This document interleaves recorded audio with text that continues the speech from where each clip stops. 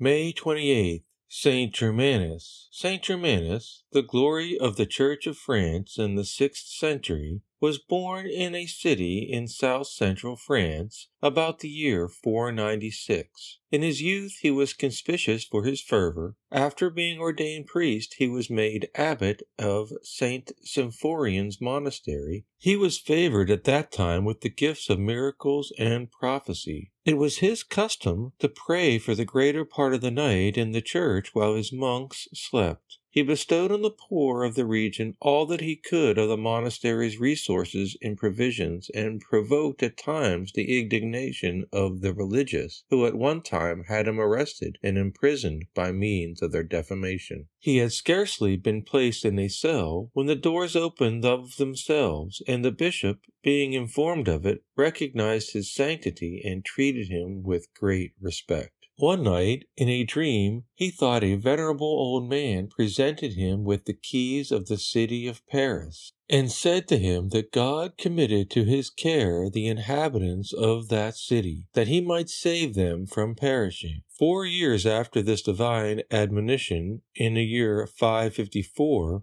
happening to be at Paris when that see became vacant by the death of the Bishop Eusebius, he was raised to the episcopal chair, though he endeavored by many tears to decline the charge. His promotion made no alteration in his mode of life. The same simplicity and frugality appeared in his dress, table, and furniture. His house was perpetually crowded with the poor and the afflicted, and he always had many beggars at his own table. He had edifying books read during the meals that their souls and his own might be nourished. God gave to his sermons a wonderful influence over the minds of all ranks of people. King Childebert of the Franks, who until then had been an ambitious worldly prince, was converted by the sweetness and powerful discourses of the saint. He founded many religious institutions and sent large sums of money to the good bishop to be distributed among the indigent. Once, when Saint Germanus learned that some poor folk, inhabitants of a village he was passing through one day, had been imprisoned by their lord for non payment of debts, he went to pray and shed tears, face to the ground, at the gate of the subterranean jail where the unfortunate victims were lamenting.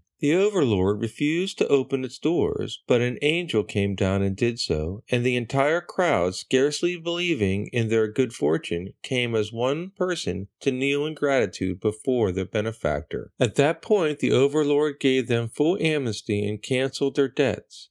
In his old age, Saint Germanus lost nothing of that zeal and activity which he had filled the great duties of his station in the vigor of his life, nor did the weakness to which his corporal austerities had reduced him make him abate anything in the mortifications of his penitential life, which redoubled in celestial ardor as he approached more closely the end of his course. By his zeal, the remains of idolatry were rooted out and destroyed in France. The saint continued his labors for the conversion of sinners, the deliverance of prisoners, and the relief of the poor until he was called to receive his reward at the age of eighty on the 28th of May in the year 576.